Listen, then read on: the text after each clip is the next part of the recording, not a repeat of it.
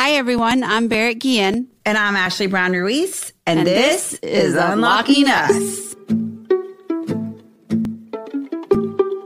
Welcome to part two of the three part Sisters Book Club on Brene's new book, Atlas of the Heart Mapping Meaningful Connection and the Language of Human Experience.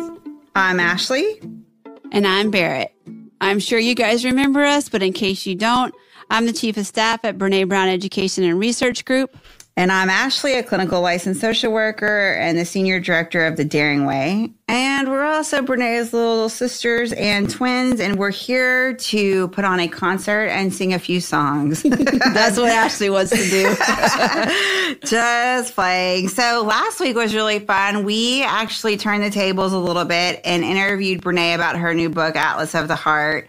It was really fun and cool, but it was, I'd have to say, it was harder than I thought it was going to be. It was so much harder. I, I don't think I realized how Brene really like leads the conversation and we just had to follow. And then the, in this, we're definitely leading. We are, we did a great job. We did do a great job, but there were definitely some times where I was like fanning myself, red face, but it was really fun. We also talked about how biology, biography, behavior, and backstory shape our emotions and experiences. It's really amazing how having vocabulary around emotions and experiences not only helps us understand them, but can actually shape them.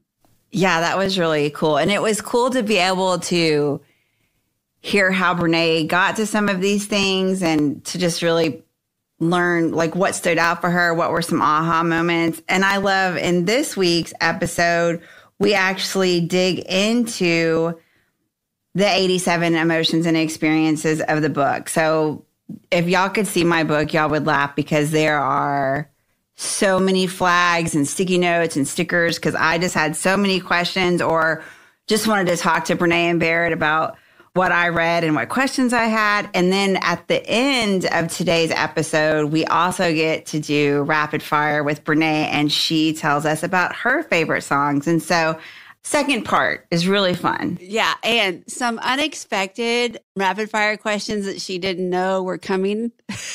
we were really nice, but yeah. And guys, in part three of the three part series, we're asking all of Brene's newsletter subscribers to submit any questions they have. Reminder, we won't be able to get to all of them, but we're going to get to as many as we can. Y'all, if you're part of the newsletter, submit your questions and we'll be answering them for our next episode. It's going to be fun. It's going to be really fun.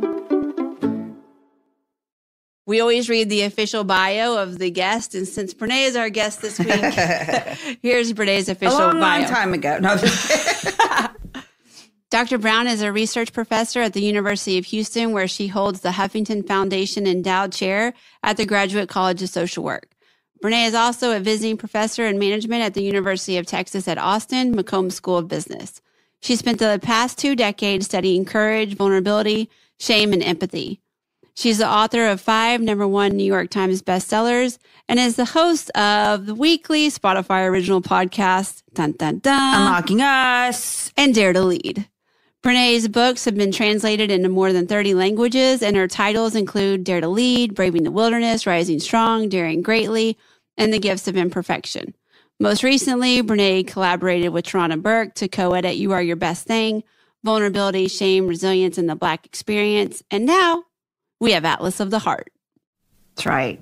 Her TED Talk on the power of vulnerability is one of the top five most viewed TED Talks in the world with over 50 million views. She is also the first researcher to have a film lecture on Netflix, The Call to Courage. Special debuted on the streaming service in April 2019. That was a fun trip. That was fun. Uh, Brene lives in Houston, Texas with her husband, Steve, and they have two kids, Ellen and Charlie. And a dog named Lucy. Yeah, weird Lucy. Let's jump in. Okay, guys, we're back for episode two of the book club. Don't forget, for episode three, we're going to be answering your questions, but more to come on that. Now we're back with Ashley, and we're interviewing Brene. And I am Barrett. Barrett. Wow. I mean, she sounds like, hey, guys and gals, dudes and dudettes. oh, Grease. Yeah. On the dance floor. oh, my God. That's what she sound like. Very suave. Okay. Rico. One day, maybe we could talk about my practice E ESPN commentating. Um, yeah. Is that like a dream? no, we did that. Whenever you send us on our brand tour in Atlanta, and Oh, we yeah. went to the in a, or the College Football Hall of Fame.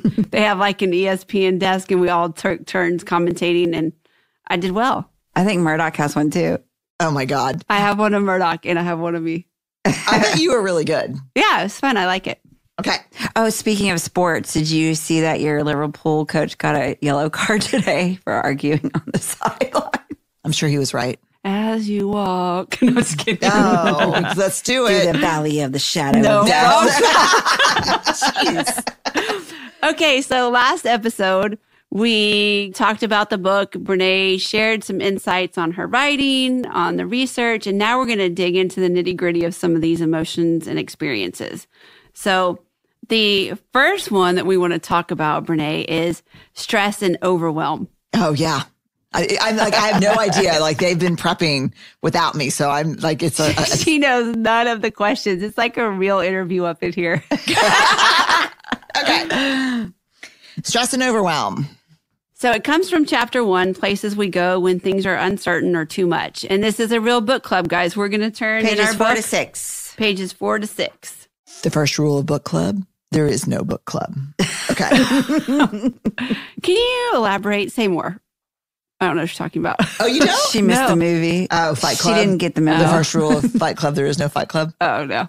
No, Okay. no, I'm not a great movie watcher. Okay. Well, I've, I would never see that movie because it's way too violent, but I do know the cultural references. I'll learn. Just that one. so stressed and overwhelmed. I think the thing that I learned the most about these words are when we use, I mean, I say I'm overwhelmed all the time. Do y'all? yeah. Uh, Yes.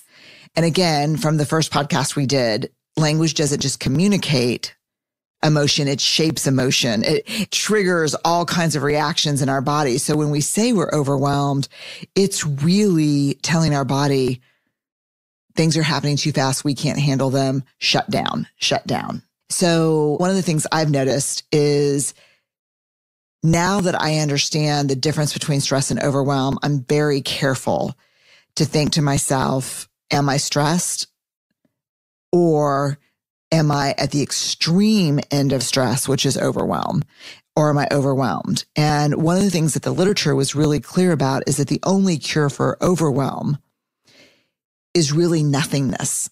And so I think you've seen me bear it since I wrote the book. I'll say, you know what? I'm overwhelmed. And I walk out of here and I go straight to the parking lot Mhm. and I just walk circles in the parking lot for 10 or 15 minutes and then I can come back and try to reset.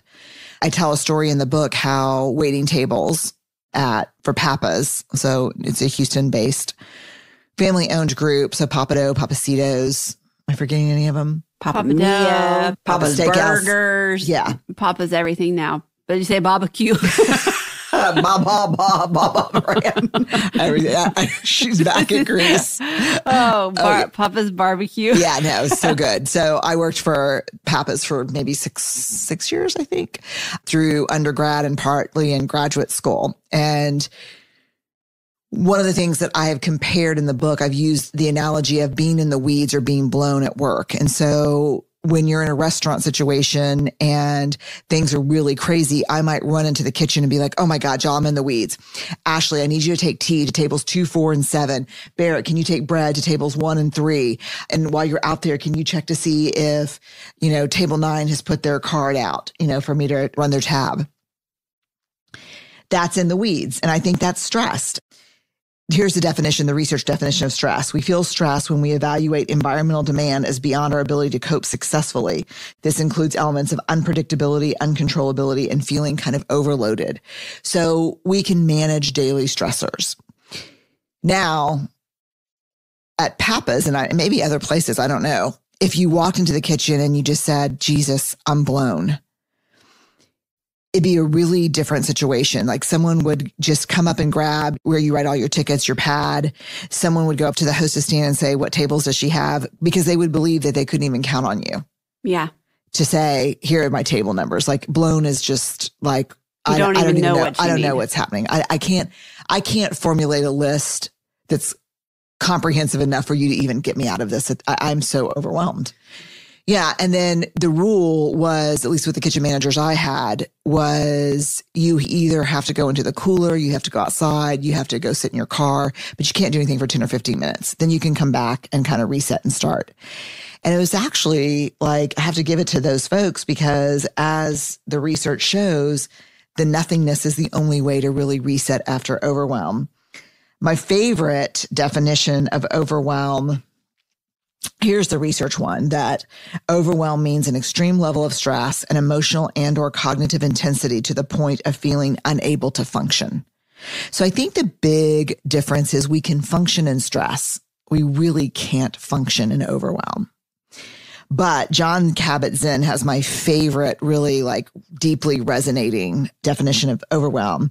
He writes that overwhelm is the all too common feeling that our lives are somehow unfolding faster than the human nervous system and psyche are able to manage. Jesus.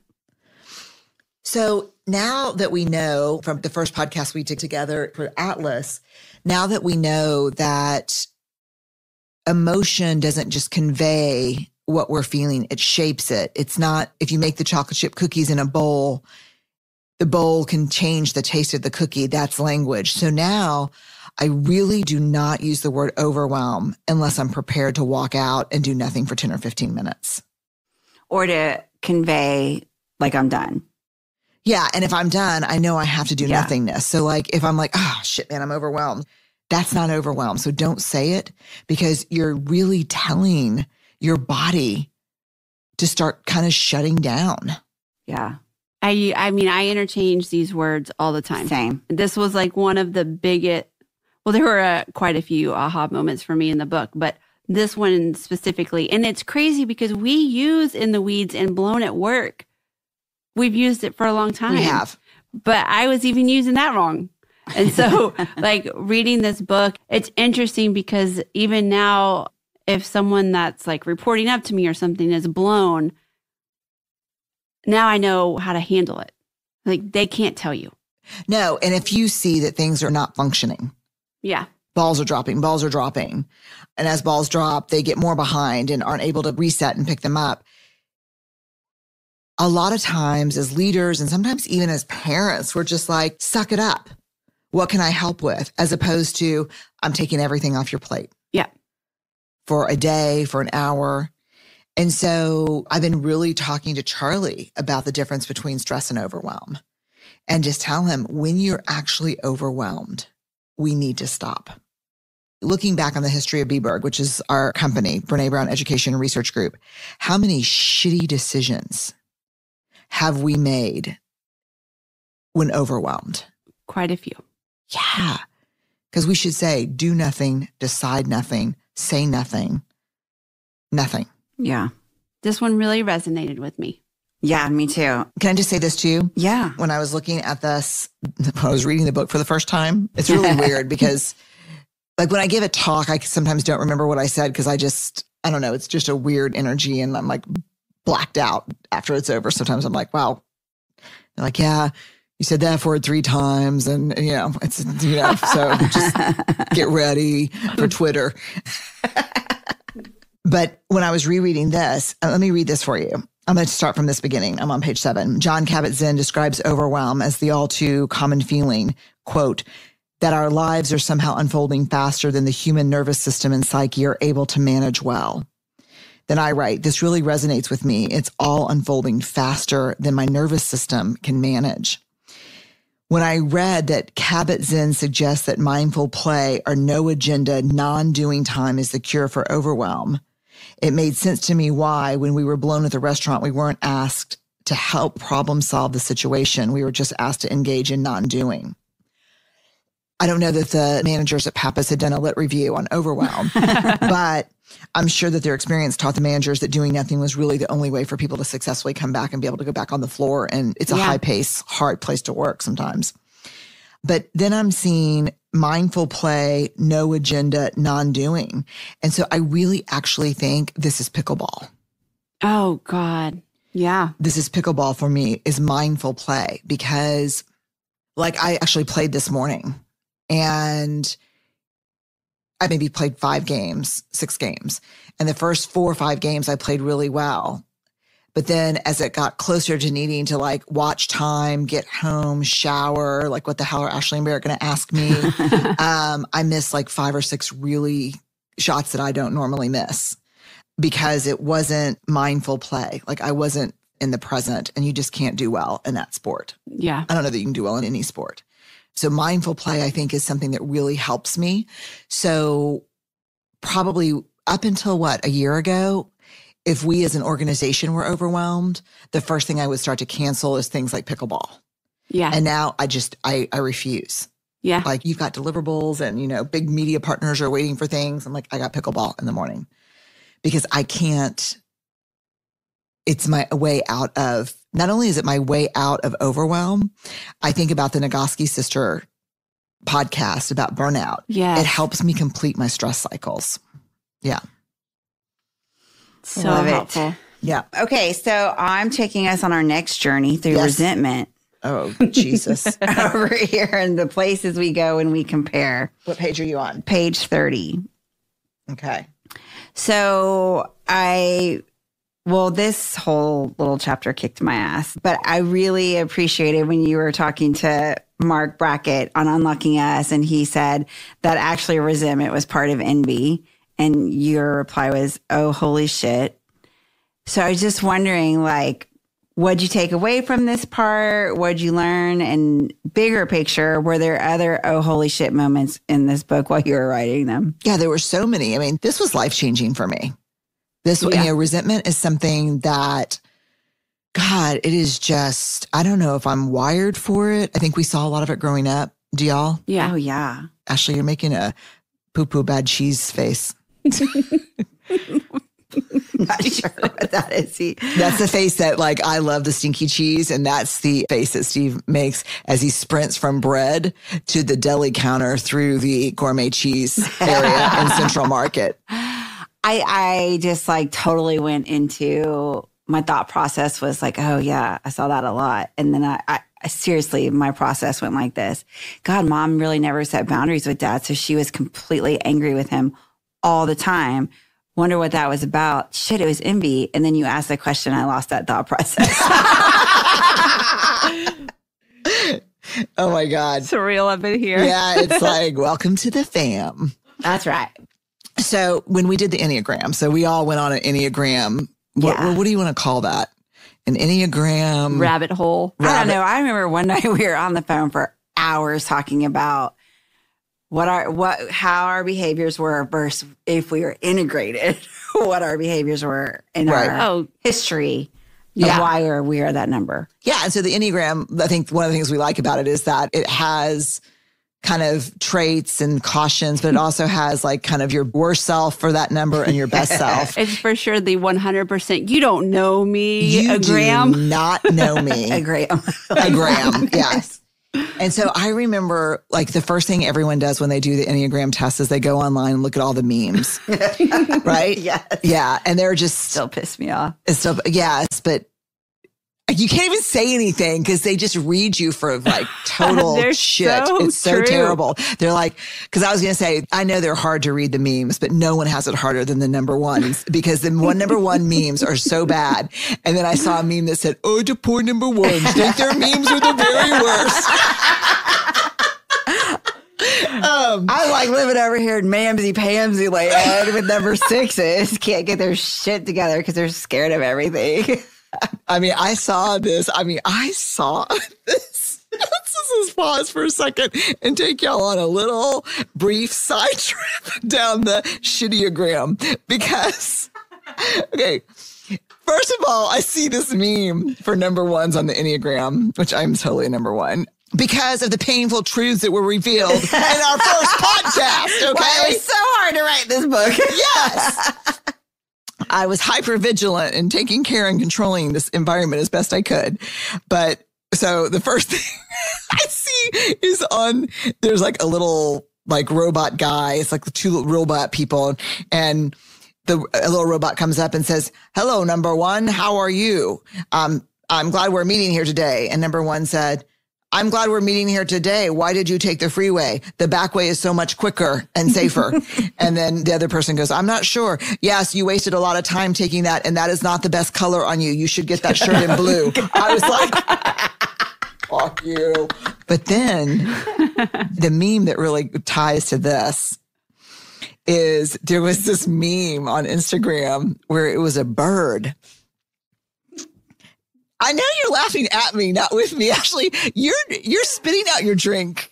Now she's wiping her mouth. She's that's how much she's laughing at me. That there was this bird and its wings were down tight against its body and its head was lifting up and it was just like flying through the air like you know, and it said number one on the Enneagram, fueled by nothing but rage and resentment. and I was like, I'm not that bird. Um, you don't but know I am, me. you don't know me, but I am kind of that bird. And I thought, man, I, I really struggle with this resentment.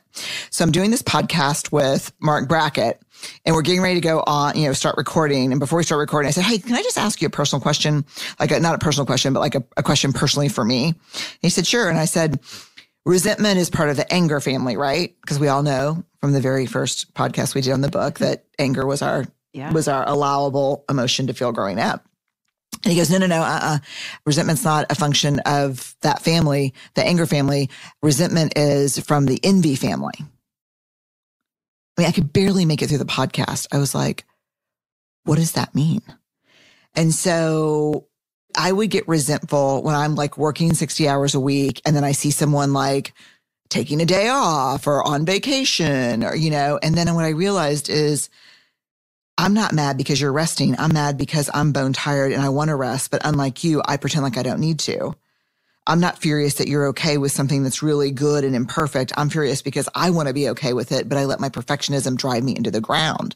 Like your lack of work is not making me resentful. My lack of rest is making me resentful. So now when I feel resentment creeping up, I always, I really try to say the first thing is, what do you need that you're not asking for? How are you not taking care of yourself right now? You know, and so, mm, boo. Yeah. That, that went and kicked my ass a little. Yeah, that one's hard to put into practice for sure. I feel though, like knowing that it's part of envy makes it better. I don't know if it's easier to practice, but it is definitely a different lens that you're looking through. Yeah, because it is uh, for me, like if I'm resentful towards Steve or um, that I'm not like critically assessing him. It's internally focused. I'm like, what's going on with me? And I think resentment is normally about what you're, what this other person's lacking instead of what we're lacking. Yeah. Oh, it's hard. It is Ugh. hard. You don't get to go again, Ashley. I am. I am up next. If you look at the list. Well, I don't have the list. Y'all are keeping it from oh, me. no, I'm up next. Oh. We're going over to um, disappointment and expectations. Oh, shit. dun, dun, dun. You're welcome. we can go over to page 43. What is that little duck from what show? This is serious. I don't know. I don't know either. okay. Is, it, is that what a backyard page? again? No, it's the pets where there was the duck and the. Oh, oh yeah, with the boat. There, yeah. It's like not cartoon, but not real. Yeah, yeah, yeah. yeah, yeah. There, there, were like hamsters or gerbils or yes. something. Yes. Oh my gosh, what was that? This is serious. Uh huh. Yeah. Same time as the backyardigans, I yeah, think. Yeah. What okay. page, Bear? We're on page 43. Okay. Disappointment and expectation. Oh, okay. I got a lot of markies on this page, a lot of stickers. Yeah, so the tons of definitions of disappointment, but the one that emerged from our data was disappointment is unmet expectations. The more significant the expectations, the more significant the disappointment. This bolded sentence down here in the bottom paragraph that says, when we develop expectations, we paint a picture in our head of how things are going to be and how they're going to look. Mm-hmm. Let me just keep reading. Sometimes we go as far as to imagine how they're going to feel, taste, and smell. That picture we paint in our minds holds great value for us. We set expectations based on not only how we fit into that picture, but also on what those around us are doing in that picture. This means that our expectations are often set on outcomes totally beyond our control, like what other people think, what they feel, how they're going to react. The movie in our mind is wonderful, but no one else knows their parts, their lines, and what it means to us. Boo. It's so hard. I mean, just keep going on. When the picture or movie fails to play out in real life, we feel disappointment. And sometimes that disappointment is severe and brings shame and hurt and anger with it. It's a setup for us and for the people involved. Disappointment takes a toll on us and our relationships. It requires considerable emotional bandwidth. But what it really requires, what I took from this, is that it really requires for you to ask for what you need and Yeah. ask for what you want. Yes.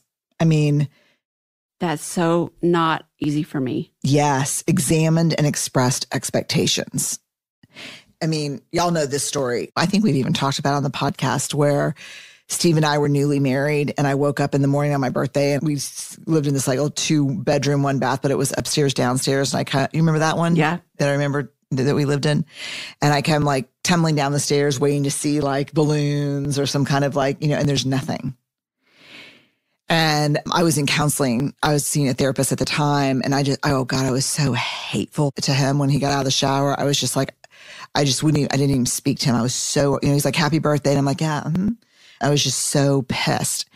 And I told the therapist, I said, you know, I come from a family that makes a big deal out of birthdays. And I cannot believe there were no balloons or no signs or a card out or decorations. And she's like, well, did you ask him or tell him what you need and what would be meaningful to you? You know, I was like, no, if I have to ask him, then it's not worth it. Like that is, that's the sign that's probably killed a million relationships. If I have to ask, fuck off. Mm-hmm. And she goes, I think if you're not asking, then you don't think it's worth it. You don't think you're worth it. You do not know me. no, sir. No, sir. Sit the fuck down. Yeah. Yeah. I was like, what? And it it was, I mean, I just remember I said, if I have to ask, it's not worth it. I was so smug. And she goes, I think if you're not asking, you don't think you're worth it. Let me tell you the rest of that story. She didn't really stay curious there with you, did she? No. Your people did me dirty. no. And so I told him that day that it really hurt my feelings and that birthdays were a, a big deal and presents were a big deal. And the next morning, I had like a little thing on the table for my birthday. And he had bought me a skirt at Express that I really, really loved. But we were so broke. I was in graduate school, he was in medical school, broke.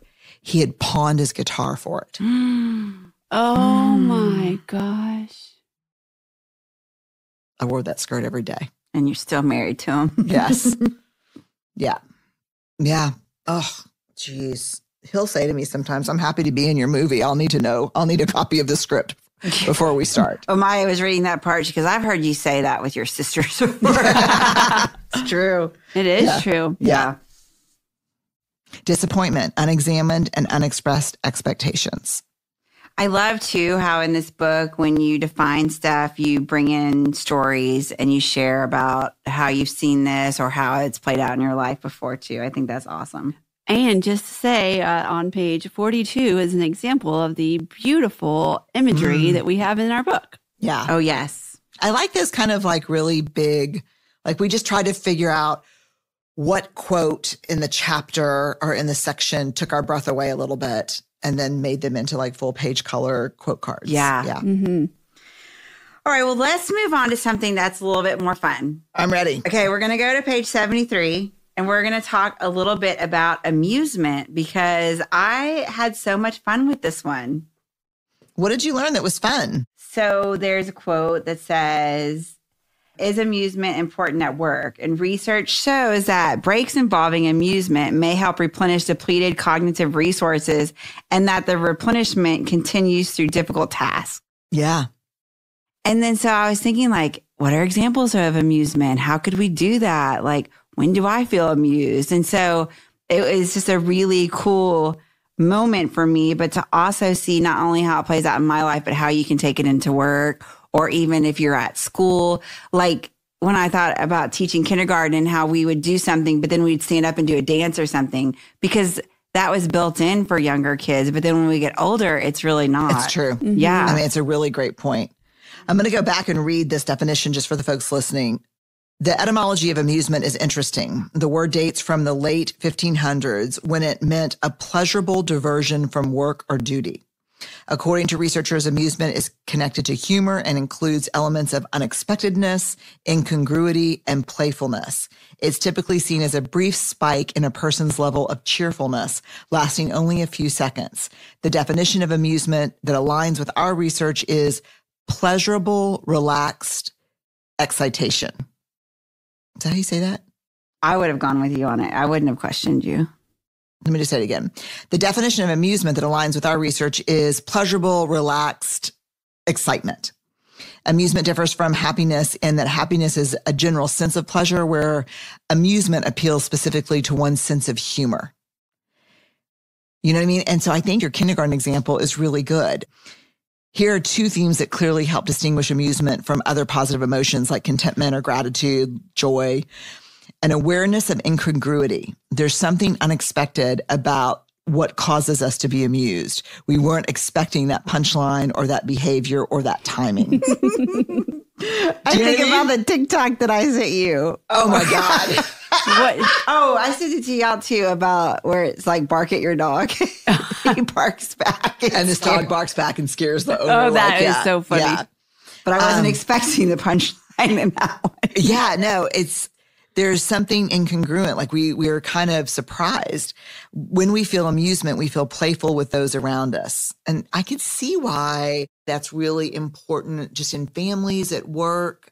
I can see why it's easier in kindergarten than when you're at work and you're adults because it's the incongruent that has caused us to become feel awkward and Yeah. self-conscious and do you know what I mean? Yeah.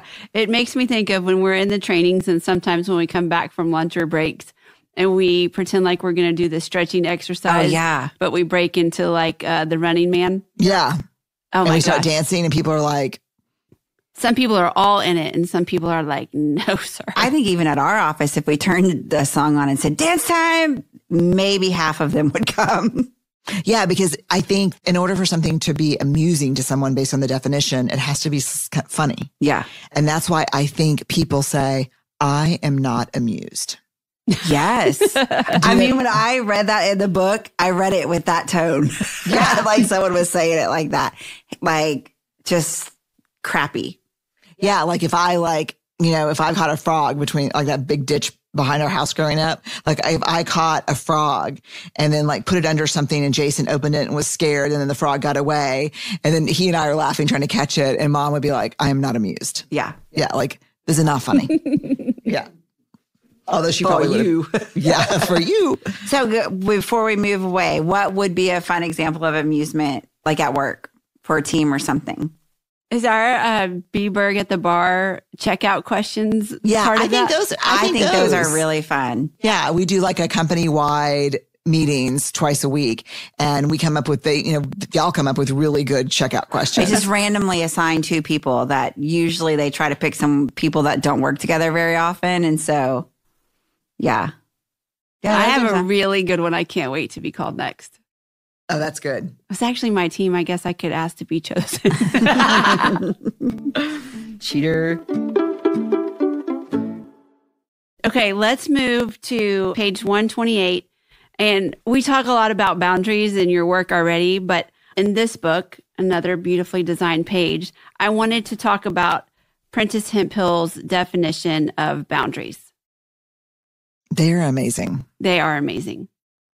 I mean, yeah. So Prentis Hemphill writes, boundaries are the distance at which I can love you and me simultaneously. Oh my goodness. It's so powerful. Oof. Yeah. I think people don't understand the relationship between boundaries and love. You know, I don't think people understand that I'm saying no to this, or I'm saying yes to this, or I'm saying this is not okay and this is okay out of a deep need for self love. And I'm choosing something to say and ask for something hard to be able to maintain a relationship with you. Mm, yes. That's why I think in the parenting research, I was just thinking about this because we just did that talk, parenting talk recently, that one of the surest ways to undermine connection with our children is to say no just because we can. Just to say you can't do this or no, or yes, you are going to do this because I have more power and authority than you. Not, you know, that's why Steve and I are like, we will say yes every time we can. And when we can't, we'll explain it. Mm-hmm. And if you need another explanation, we'll try to reframe it and explain it. And then, you know, then we're done unless you really don't understand. But I think boundaries is ultimately very much what Prentis writes. It's, it's a way that I can continue to love and respect myself and love and respect you. So if I say, you know what, happy, you know, the holidays are coming, really want you to, you know, can't wait to see you and the kids. A couple things I'm going to have to ask. It's okay for it to be stressful. It's okay for things to get kind of hard sometimes. It's not okay to break into a huge fight in front of my kids and the family. It's not okay to drink too much. You know, those things are not okay.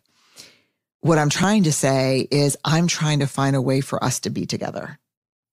I love that. Yep. You know, yeah, it's also like that parenting advice I got when Ellen was really little. And I don't remember who told it to me. I think it was a theologian.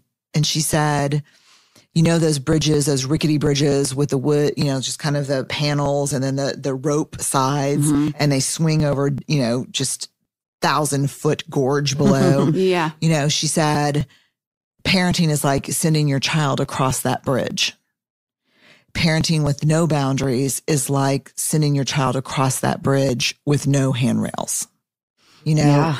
And we just know from the research that we've done with college age students that one of the greatest sources of love and security and boundaries that they, they literally will get competitive with one another if we do it in a group is tell me how strict your parents were. Tell me about the rules you had growing up you know, and they'll say, Oh my God, my parents were so strict and I couldn't do this. Or, oh my God, you, you think that's bad. We couldn't do this. And then we don't even do those focus groups anymore because the kids who grew up without any boundaries go into such deep shame. Yeah. And their translation was no one was watching or paying attention enough to set a boundary. You know, yeah. so I think we miss the relationship between boundaries and love, but Prentis does not. No, Prentis does not. Prentis nailed it. I love too. This is another great example in the book about how you circle back to previous books. Like in this one, you talk about the gifts. So many times, rising strong is brought up. I think that's really cool. All right, moving along. We're, I want to learn about what new information you came to with humiliation. Oh yeah, on page one forty eight. Yeah, woo! I saw this meme on uh, Instagram that said, science is not the truth. Science is the pursuit of the truth. When scientists change their mind, they weren't lying to you. They've learned something new. And that's how I feel about humiliation. For a long time, I think all of us that studied the self conscious affects, shame, guilt, humiliation, and embarrassment, I think all of us kind of believed that you know, we, we believed, and I think this is still holds up that the difference between like, let's just do a primer real quick for everyone listening. So shame and guilt. Shame, I am bad. Guilt, I did something bad. Shame is a focus on self. Guilt is a focus on behavior. Shame is very highly correlated with addiction, depression, abuse, violence, aggression, guilt inversely. It's so helpful when we can separate ourselves from our actions. So I'm not stupid for getting an F, but it was a really stupid decision to not study for that test, right? That's shame and guilt. We still talk about the primary difference between shame and humiliation being the construct of deserving. So if I'm a teacher and I shame a student and that student self talk is, God, I didn't deserve that. That's the meanest, rotten, most terrible teacher. I didn't deserve it. We used to say all the time that humiliation is less dangerous than shame because as a caregiver, it's very likely that we'll hear about it because they're not internalizing it like they would shame. If they process that as shame, God, she called me stupid. I am stupid. She's called me stupid. I am stupid. The problem is if we look on 147, this is based on the research. We define humiliation as the intensely painful feeling that we've been unjustly degraded, ridiculed, or put down, and that our identity has been demeaned or devalued. And it's similar to shame because we feel somehow flawed when we're in that emotion. But again, when we're humiliated, we don't believe we deserved it. And the new research, this is coming from Linda Hartling, who's the director of a global transdisciplinary group called Human Dignity and Humiliation Studies. They call themselves the nurturers of dignity. Hartling and her colleagues describe humiliation as unjustified mistreatment that violates one's dignity and diminishes one's sense of self-worth as a human being. So a collection of studies has really challenged my thinking about how detrimental and dangerous humiliation is. So in 20, in, I guess 2003, Susan Harter and her colleagues issued a report that examined the media profiles of 10 prominent school shooters between 1996 and 1999. And they reported that in every case, the shooters described how they had been ridiculed, taunted, teased, harassed, and bullied by peers because of appearance or social or athletic behavior.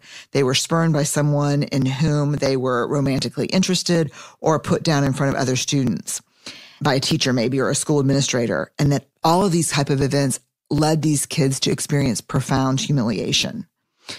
That report prompted a series of studies by Jeff Elison and Susan Harter that found links for peer rejection, humiliation, depression, and anger with both suicidal and homicidal ideation. It's crazy. Yeah. Yeah. More important, perhaps, their research suggests that bullying alone does not lead to aggression. Instead, individuals who are bullied become violent specifically when feelings of humiliation accompany the bullying. I just think this has tremendous implications for how we think about humiliation and how often humiliation is an attack against a social identity, ethnicity, race, sexual orientation. This makes humiliation dangerous.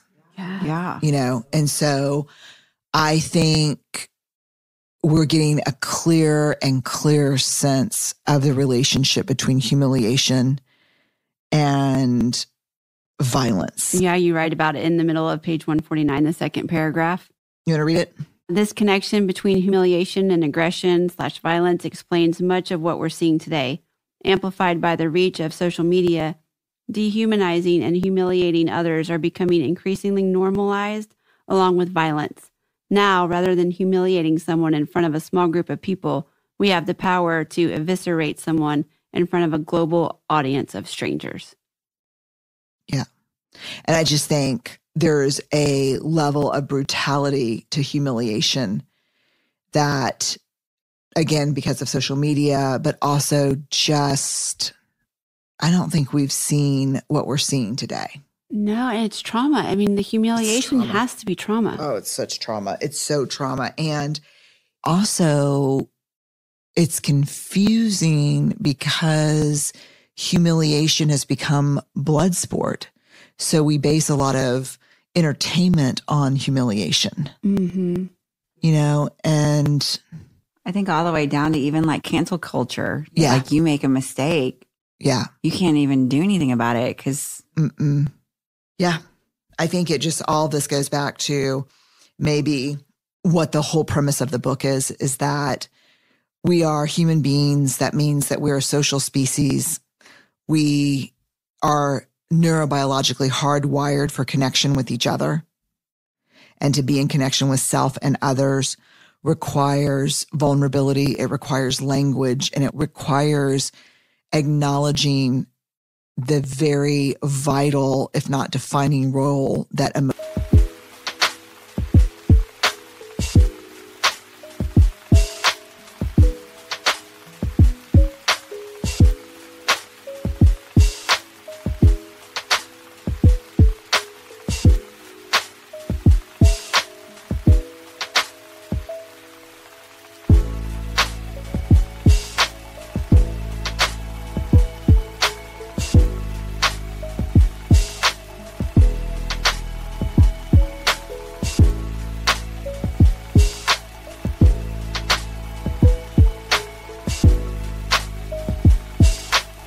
emotion plays in our lives.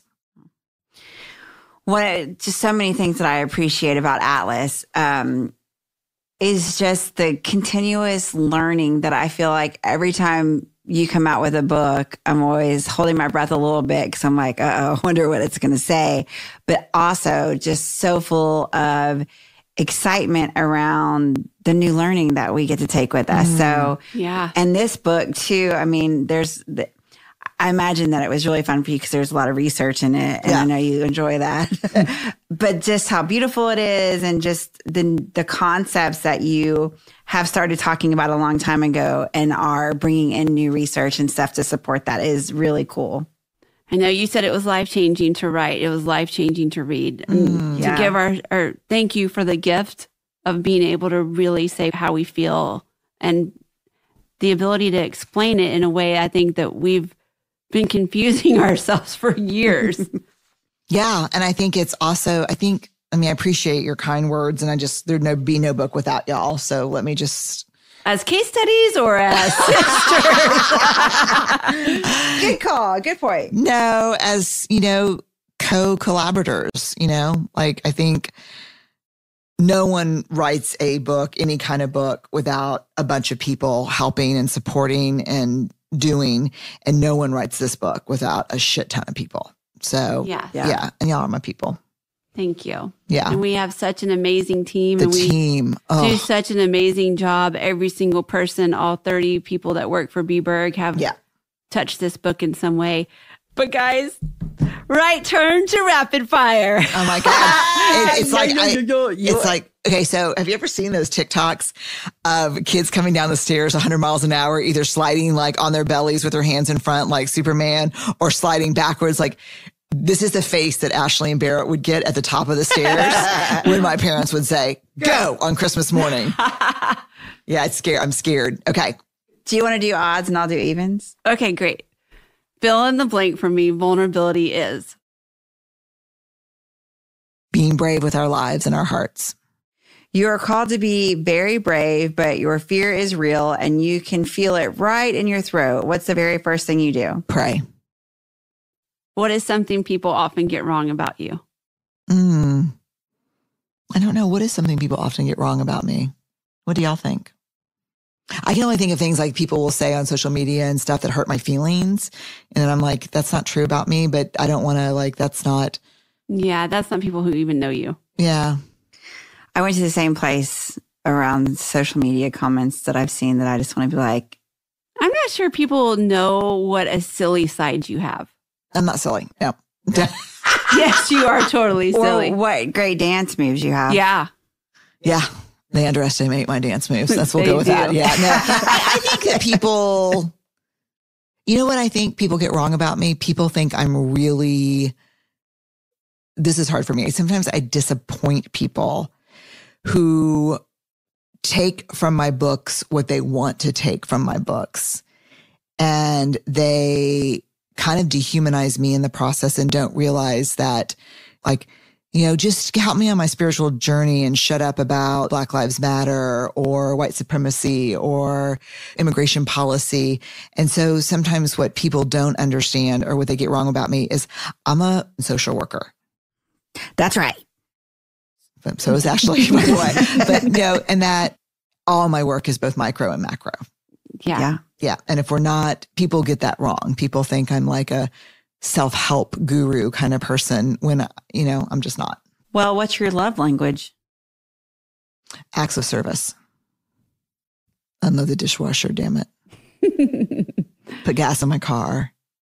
Mm-hmm. What's your love language? Same. Me too. I mean, you take my car, get gas, and wash it for me. But hold on, you shaking you your head like that. Wait, we're in rapid fire. Keep going. I can just tell you that I have thoughts about that, but go ahead. That's for another podcast. What's the last TV show you binged and loved? Like the cool answer or like the honest answer? The honest answer. Um, y'all know I like I watch a lot of British mystery shows. Shetland. Shetland. Favorite movie? Mm. They couldn't be more different, but it's probably a tie for the color purple and the sound of music. A concert that you'll never forget. Mm, you too. Oh, yeah. That's neat. One of many you two concerts. Yeah. Favorite meal? Mm, golly. It's like that movie where they die and they go to heaven. They can eat whatever they want, not feel like Yeah, Like, totally. feel sick? 100%. like I would have not feel sick or gross. Chicken fried steak, mashed potatoes with butter, cream gravy, corn on the cob, iced tea, lemon meringue pie. Nailed it. Oh, That sounds lemon so meringue good. pie. Is that a nod to our friends in Three Pines? okay, keep going. Bonjour. Je m'appelle Armand Gamache. Is it my turn? It is. What's on your nightstand? A heating pad, a pickleball heating pad, lip gloss, not lip gloss, but you know, like lip balm, um, moisturizer, a lamp, a cord for my watch, a cord for my phone, and like 64 books. Well, speaking of your bedroom, Oh God. Jesus. do you let, That wasn't me. do you let Lucy sleep in bed with you when Steve's out of town? They're so excited to ask me this. No, I do not. oh, are you sure? I'm a hundred percent. Lucy could talk. If Lucy could talk, she'd say, hell no, she doesn't. I sleep in a crate on the floor next to the bed. Okay, here's your next question. Why do you think that you and Chaz always lose to me and Ashley at euchre? That's a bullshit question. Um, I'll tell you why Chaz and I always lose in euchre to y'all. And first of all, we don't always lose, Yeah. but it's Chaz. No, it is. It is. And. I'll tell you why. He cannot go more than two hands without bidding. Yeah. And it doesn't matter if he's got jack shit in his hand. This is true. He's gonna Yes. he'll bid on a nine and a queen. And go alone. And he'll go alone. Oh. A snapshot of an ordinary moment in your life that gives you true joy. Um sitting on the couch or on the bed when I'm close enough to Steve, Ellen, and Charlie that I can smell their hair. Aw. Yeah. Tell me one thing you're deeply grateful for right now. My sisters. Aw. Okay, go ahead. Five songs. Oh, no. You want to read them? My five songs for my playlist. Yeah, Are go y'all gonna make it on Spotify? Yeah. Okay. If I Needed You by Townes Van Zandt, Amazing Grace by Willie, Willie Nelson, Nelson. Before the Last Teardrop Falls. Freddie Fender, How many dimes did I put in the jukebox at Pig Stand on Broadway in San Antonio with Meemaw? Angel from Montgomery by Bonnie Raitt and John Prine when they sing it as a duet. Oh, Oh, my yeah, God. so good. So good. Oh my God. There's flies in the kitchen. Let It Be by Carol Woods and Timothy Mitchum. Nice. Yeah. So, in one sentence, tell us what these five songs say about you, Brene Brown, author of Atlas of the Heart. Mm. I think it would say she believes in God and she believes in love. Oh, I love that. Me too. Damn. So, I have to say, like, it's not as easy as it looks being on this side of the microphone. I think I nailed it. That's so funny. Thank y'all so much for like spending so much time and energy and effort helping me love on Atlas a little bit as we put it out into the world. Y'all know it's a scary thing. It is. Yes. It's such a great book. It's Uh, a gift.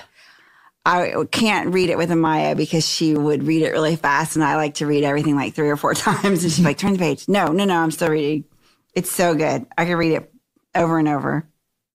Thank you. Well, you probably will. I know. Yeah. All right. Thanks, y'all. Thanks, y'all. well, that was fun. It was so fun. I just wish we could ask all the rapid fires to everybody that comes on. I know, and I like that they're the same questions, but I also think it'd be fun to just like throw in a couple. But I don't want anyone to throw in a couple on me. Yeah. I'll just do it on them. Exactly. Get ready again to join us next week where Brene and Ashley and I answer your questions that you submit. Guys, We have received so many questions. That we just went out with the email blast last week. Today's Monday, so I'm trying to figure out when we sent it out. It was on Friday, and we got like 700 questions in the first two hours. So we're really excited to dig in. Yeah, you can find Atlas of the Heart, Mapping Meaningful Connection in the Language of Human Experience, wherever you like to buy books. And we will put a link on our episode page. You can find Brene online on Instagram, Twitter, Facebook, and LinkedIn at Brene Brown. Oh, we TikTok? Oh, yeah, guys. Knock, knock, knock. Guess who's on TikTok? We'll have to make sure we add that here. yeah, we'll also put the links up on the episode page so y'all can find them there. Remember, every episode of Unlocking Us and Dare to Lead have episode pages on BreneBrown.com where we have resources, downloads, and transcripts. You can sign up for our newsletter there too. Dare to Lead podcast is also available only on Spotify every Monday, and it's free to everyone. We're so grateful that you're here with us. And it was such a fun experience to turn the tables on Brene and actually interview her. We'll see you guys next week right here only on Spotify. Until then, thanks, friends. Stay awkward, brave, and kind.